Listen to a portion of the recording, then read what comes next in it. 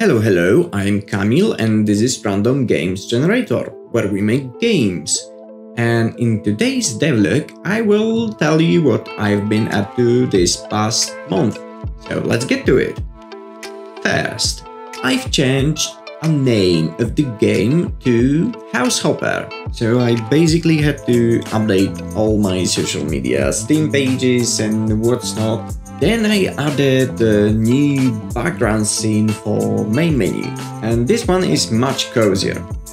I also polished few levels and uh, fixed some bugs, and then I released a game demo, so you can go and play it on Steam right now. Link is in the description. And after releasing this demo, I got back to 3D modeling and I will be populating uh, this level with more meshes so you can expect uh, more 3D modeling videos in the future. I also added new bush material, uh, you know, with leaves and what's not.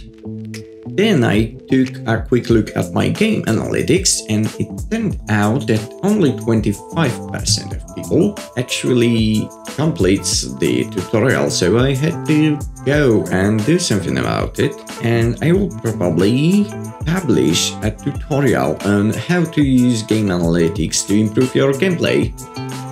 I also implemented a new music system and then I released a, a patch for demo in the meantime, I was, of course, uh, doing some marketing stuff and uh, it paid off because I got featured by Kotaku.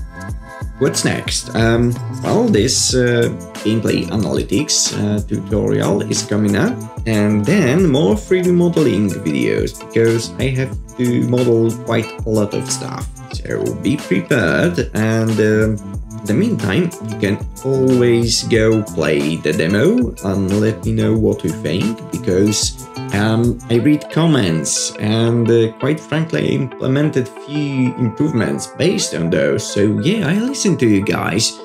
Anyway, see you later.